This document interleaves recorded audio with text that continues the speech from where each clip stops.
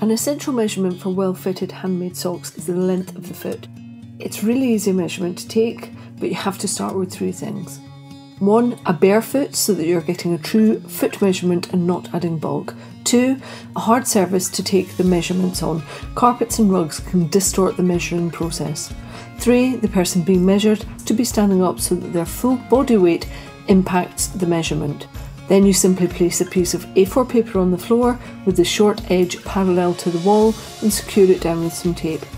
Place the heel of the foot against the wall with the inside of the foot running to the long edge of the paper.